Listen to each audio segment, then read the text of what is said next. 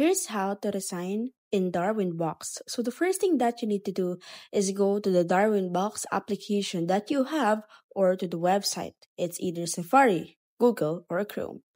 Afterwards, you will be redirected on the sign in options. Click on the sign in button that you can see from the Darwinbox website. Afterwards, on the dashboard, click on your profile icon or click on view profile icon and it will automatically appear to the left side of the dashboard of the Darwinbox.